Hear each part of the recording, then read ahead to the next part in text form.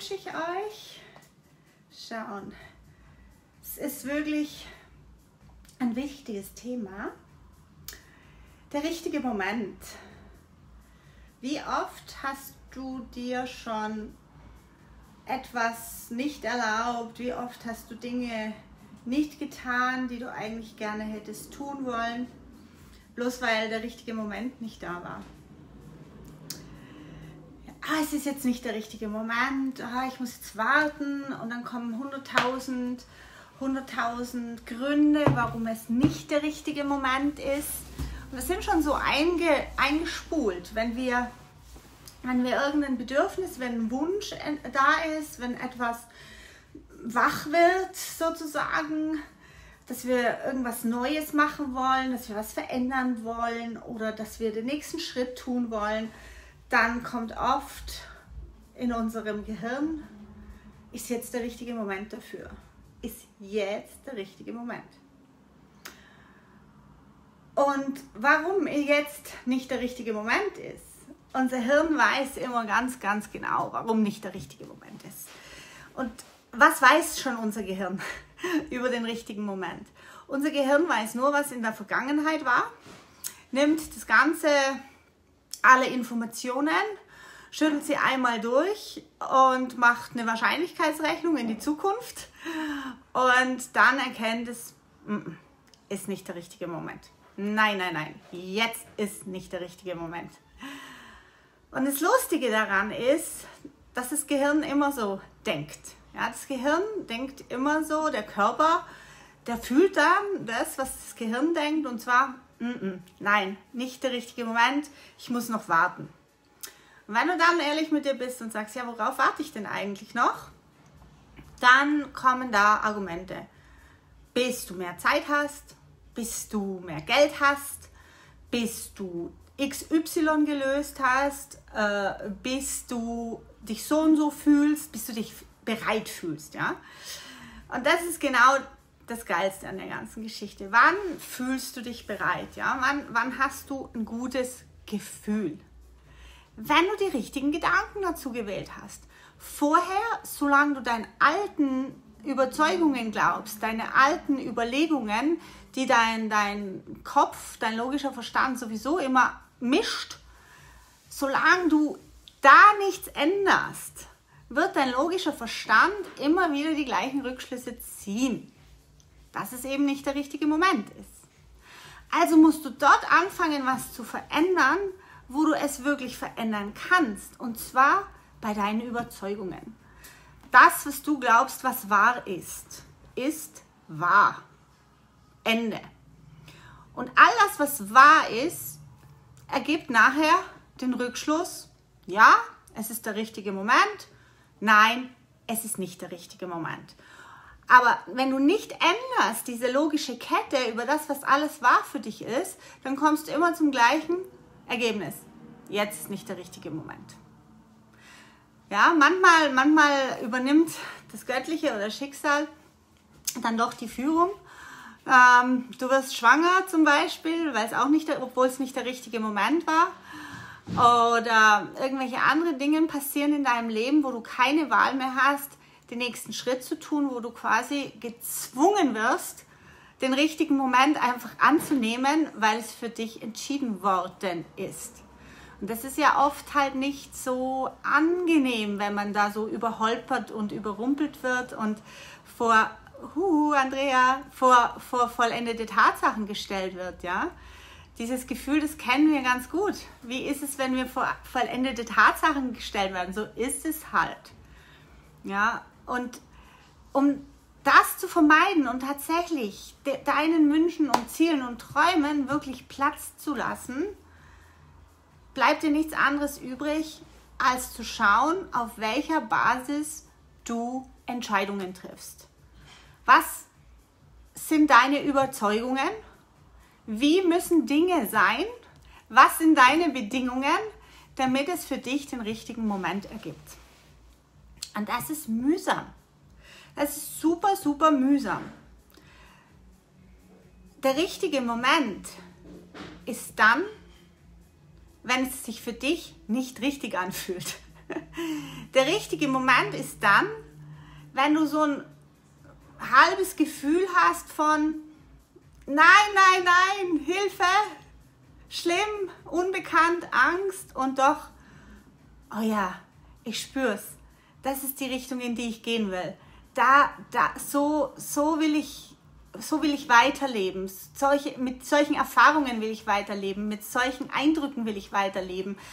Das äh, führt mich zu meinem gewünschten Lebensstil. Das spürst du ganz klar in dir.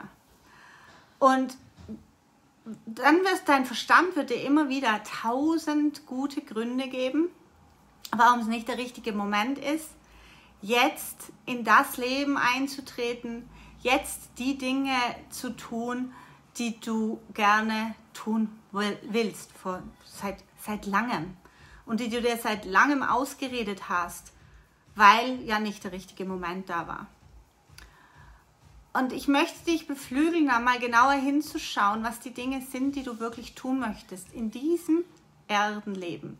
In diesem einen Erdenleben, von dem du jetzt gerade mal weißt, dass deine Füße hier auf der Erde stehen und dass dein, dass dein Körper eine Verkörperung erlebt hat, stell dir doch mal die Frage, was willst du denn mit diesem Leben anfangen? Was willst du denn alles erleben? Was willst du alles erfahren? Und zwar bewusst. Du machst deine Erfahrungen auch unbewusst. Du machst deine Erlebnisse auch unbewusst. Du bist nie gefeit von Erfahrungen und du bist auch nie gefeit von Erlebnissen. Du bist hier, um Erfahrungen zu machen und Erlebnisse zu haben. Und das hast du die ganze Zeit. Jetzt geht es nur daran, möchtest du die Entscheidungen treffen, was du jetzt erfährst, was du erleben darfst? Möchtest du für dich entscheiden? Oder lässt du einfach mal so die Energie entscheiden, die gerade mal so im Kollektiven ist? Ja? Dann erfährst du halt das, was das Kollektive gerade erfährt. Vielleicht Angst, krank zu werden, Angst, deine Freiheit zu verlieren. Alles Mögliche, ja, was das Kollektiv gerade erfährt. Aber du kannst entscheiden für dich selber, dass du andere Erfahrungen und Erlebnisse jetzt ab jetzt, in diesem Moment, in, dein, in deinem Leben haben möchtest. Und das entscheidest du, das darfst du entscheiden, jeden einzelnen Moment, für jeden einzelnen Bereich deines Lebens. Sei es die Familie, sei es ähm, dein Business, sei es äh, deine Arbeit, sei es deine Beziehung, sei es dein Körper, sei es deine sportlichen Aktivitäten. Es ist völlig egal. Aber du hast das Recht, du hast die Möglichkeit, du hast die Macht und du hast die Kraft, unabhängig von irgendetwas, irgendjemand anderen zu entscheiden, welche Erfahrung du jetzt machen möchtest. Du entscheidest. Aber das kannst du nur, wenn du dich energetisch komplett löst von dem, was drumherum ist, von dem, was dir irgendwo ein Gefühl gibt, das sagt, nein, du kannst es nicht. Und da herauszutreten und da den ersten Schritt zu tun für dich in deine Richtung, fühlt sich meistens falsch an. Das kann ich dir versprechen. Es ist meistens, oh, ich bin nicht bereit. Oh, es ist nicht der richtige Moment. Und wenn du dich so fühlst, wenn du eine Entscheidung triffst, das ist wie wenn du ins Wasser springst, ja? Du triffst die Entscheidung, ich springe jetzt ins Wasser, weil wenn ich da unten in dem Wasser angekommen bin, dann habe ich einen Riesenspaß, eine Riesenfreude darin rumzuplanschen. Und der Moment, wo du abspringst, vor dem hast du riesengroße Angst. Und wenn du dich vor, an diesem Moment festhältst, vom, an diesem Absprungmoment, dann wirst du nicht springen, weil das ist der Moment, der dir Schiss macht. Das ist der Moment, wo du Angst davor hast. Wenn du aber jetzt diesen Moment des Springens überspringst und dich schon in das Wasser begibst, indem du wohlig planscht und indem du dich gut fühlst und erfrischt fühlst und, und lebendig fühlst, wenn du dich nur auf diesen Moment fokussierst und den Moment des Absprungs vergisst, dann wird dieser Moment des Absprungs von dir sowas von easy überwunden werden, weil du ja schon im Ende bist, im Gefühl, dort, wo du hin möchtest. Neville Goddard sagt dazu, living in the end. Und don't worry about the middle. Ja, also mach dir keine Gedanken, wie das Schritt für Schritt dorthin gehen muss. Wenn du wieder diesen Absprung nimmst, ja, du, du denkst nicht drüber nach, ich mache den einen Schritt, wie fühlt sich der an? Ich mache den zweiten Schritt, wie fühlt sich der an? Wie ist es denn, wenn ich dann abspringe? Da gehst du gar nicht hin, das interessiert dich nicht, weil letztendlich, was dich wirklich interessiert, ist, wenn du abgesprungen bist und wie schön es ist, wenn du in diesem Wasser planscht und, und, und dich gut und erfrischt und lebendig fühlst. Ja? Das ist der große, große Punkt, den du dir bewusst machen darfst. Wo und warum will ich dorthin? Warum will ich im Wasser planschen? Was ist so schön daran, in diesem frischen Wasser dieses erfrischte Körpergefühl zu haben? Das möchtest du ja. Das ist das, was du möchtest. Und du verwehrst es dir, weil es nicht der richtige Moment ist, den einen Schritt zu tun, den anderen Schritt und so weiter und so fort. Aber wenn du dieses Mittelding rausnimmst und einfach schon dort lebst, wo du sein möchtest, dann ist immer der richtige Moment. Weil dann organisiert sich das zwischendrin von selber. Aber es ist die einzige Lösung, wie du dorthin kommst, wo du sein möchtest. Du kommst anders nicht vorwärts, weil es wird dir jeder Schritt, jeder einzelne Schritt wird es so schwer fallen, wenn du jeden einzelnen Schritt analysierst und wissen willst, wie du denn zu tun hast. Dieses tiefe, tiefe Urvertrauen, dass das Leben so funktioniert, das haben wir verloren, das haben wir vergessen. Die kleinen Kinder wissen das alle noch. Hallo Jan. Die kleinen Kinder wissen das alle noch, die denken nicht drüber nach. Ja, schau mal ein kleines Kind an, wenn es laufen lernt. Das schaut nicht auf seine Füße. Das schaut nicht drauf. Das schaut genau da drauf, wo es hinlaufen will. Und wenn du einem kleinen Kind beim Laufen lernen hilflich bist, dann machst du auch, komm zu mir, komm zu mir und sagst nicht, schau auf deine Füße, kleines Kind. Schau auf den einen Schritt und auf den anderen Schritt. Konzentrier dich auf die Füße. Nein, das machst du nicht.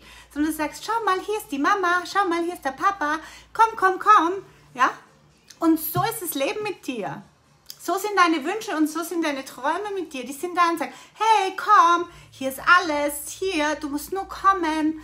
Und du bist dabei zu evaluieren, was für einen Schritt nach dem anderen du zu tun hast.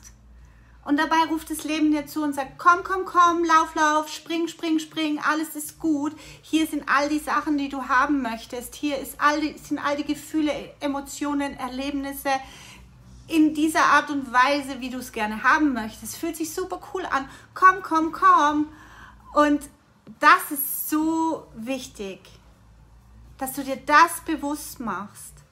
Und gerade jetzt in dieser Zeit, wo du vielleicht viel Zeit hast, auf deine Füße zu schauen und zu schauen, wo, welchen Schritt du tun sollst. Hör auf, auf deine Füße zu schauen und schaue dorthin, wo du sein möchtest. Schaue ohne Einschränkungen auf das, was dein Herz begehrt, was, was, was du schon immer mal wolltest. Und erlaube dir genau jetzt dorthin zu schauen, so dass du jeden Schritt von selber gemacht kriegst. Es würde mich so, so freuen, wenn ich dir jetzt helfen könnte, vielleicht eine andere Perspektive und eine andere Wertschätzung auch für die Wünsche und Träume anzunehmen, weil oft finden wir unsere Wünsche und unsere Träume blöd, weil wir, weil wir nicht wissen, wie wir dorthin kommen sollen oder weil wir nicht wissen, wie wir sie uns verwirklichen können. Und deswegen sind wir auch oft unglücklich und fühlen uns oft als ausgeliefert, Opfer oder im Mangel, weil wir immer nur auf die Füße schauen und auf die einzelnen Schritte und nie dahin, wo wir gerne sein möchten. Und es ist schwierig, sich alleine zu trauen, zu springen. Such dir jemanden, such dir eine Gruppe, such dir ein Umfeld, wo es ganz normal ist, dass man nicht auf seine Füße schaut, sondern dass man einen Wunsch nach dem anderen sich erfüllt, dass man ein Bedürfnis, einen Herzenswunsch nach dem anderen anvisiert und sagt, ja, das will ich, ja, das will ich, ja, das will ich, ja, das will ich. Und nicht, ich will das, aber dann muss ich auf das verzichten und wenn ich das habe, dann kann ich das nicht haben. Nein, es ist nicht so. Das Universum funktioniert nicht so. Deine Aufmerksamkeit, deine Entscheidung. Das will ich, das will ich, das will ich, das will ich. Du musst nicht sagen, das will ich und dafür kann ich das nicht. Nein, nein, nein, nein. So ist es einfach nicht. Das sind Fehlinformationen, das sind falsche Überzeugungen, dass du glaubst, du müsstest auf irgendetwas verzichten, um das nächstbessere zu bekommen. So ist es nicht. Erlaube dir, deine Wünsche, deine großen, großen, großen Wünsche endlich mal anzuschauen und zu sagen, wie ist es, wenn ich dort bin in diesen Situationen? Wie ist es, wenn ich so lebe? Wie ist es, wenn das mein Lifestyle ist? Und erlaube dir mehr und mehr das Feld zu öffnen der, der unbeschränkten Möglichkeiten und erlaube dir mehr und mehr, dich da reinzufühlen und einfach dich anziehen zu lassen von deinen Wünschen und von deinen Träumen. Und gerade jetzt ist es einfach die richtige Zeit. Und ich habe ein paar Sachen, wo ich dir helfen kann. Einerseits läuft jetzt gerade der Online-Kongress Heilung in der neuen Zeit. Und Heilung im ganz großen Sinne, eben Heilung von falschen Vorstellungen, von falschen Überzeugungen, die sich zum Teil eben auch im Körper manifestiert haben. Und da kannst du ganz viele verschiedene Ansätze finden von 15 wunderbaren Speakern, Heilern, Coaches, die ihre Vorträge dort halten. Heute Abend zum Beispiel haben wir Svenja Bergmann, die hilft die, ihre Heilmethode ist mit Hilfe der Pferde, mit der Energie der Pferde. Ähm, es ist ganz, ganz wunderschön, wie sie da herangeht und den Menschen hilft, eben genau diese Blockaden und genau das, was in dem Weg steht, vor Gesundheit, Wünsche und Träume zu transformieren. Mit Hilfe der Pferde kann ich dir in, nur von Herzen an, äh, empfehlen, diesen, diesen Vortrag anzuschauen heute Abend um sieben im Rahmen des Kongresses macht sie auch noch einen Workshop, wo sie in den Stall geht oder auf die Weide mit den Pferden, mit den Workshop-Teilnehmern und gerade arbeitet. Also wir haben zehn wunderbare Workshops auch noch in dem Kongress. Und zwar nicht nur Vorträge, die du dir online anhörst, sondern auch, wo du live, online live dabei sein kannst und nachher die Aufzeichnung anhörst und eben auch Workshops, in denen du live dabei sein kannst. Schau unbedingt die Kongresspakete an. Ähm, auf meiner Homepage siehst du oben, ist verlinkt, in meinem Profil auch hier oder unten bei YouTube sind alle Angaben da ähm, von mywellfeeling.com und dann kommst du zu Kongress Heilung in der neuen Zeit. Kannst du dir das Package noch kaufen? Du hast lebenslangen Zugriff auf alle Ressourcen, auf alle Videos, auf alle Workshops. Es wird dir nach dem Live-Event, wird es dir sofort zugeschickt. Es lohnt sich auf jeden Fall. Es ist drei Wochen Programm für dich ab gestern, seit gestern. Weiterhin ist noch für dich möglich, bei mir ins Programm Divine Money einzusteigen. Wir sind gerade auf dem Thema, beim Thema Selbstliebe. Das ist eben auch so, so wichtig. Das Thema Selbstliebe weil die Selbstliebe und die Selbstakzeptanz ist das Allerwichtigste, dass du für dich in deine Ziele, Wünsche und Träume einsteigen kannst. Ja, ich hoffe, ich konnte dich inspirieren. Es ist jetzt die Zeit tatsächlich, dass du jetzt, jetzt, jetzt, jetzt und nicht nächste Woche oder wenn Corona vorbei ist oder weiß der Geier was, deine Wünsche und Träume anvisierst, sondern jetzt ist der richtige Moment weil es gibt sowieso nur jetzt, ja. Es gibt gar keine anderen Momente wie jetzt. Also darfst du jetzt entscheiden, dass du jetzt für dich und für deine Wünsche und Träume und für deinen Lebensstil gehst und zwar ohne Einschränkungen und ohne Bedingungen. Gerne begleite ich dich auf diesem Weg. Ich weiß, es ist manchmal super, super harzig, weil man sich halt mit diesen alten Gedankenvorgängen immer wieder im Weg steht. Alles darf neu werden, du darfst neu werden, jeden Moment darf alles neu werden und unsere Welt ist sowas von unterwegs, neu zu werden. Und sie wird nur neu, wenn jeder einzelne von uns sich die Erlaubnis gibt, neu zu werden. In diesem Sinne wünsche ich dir einen wunderschönen Tag. Bis dann. Ciao.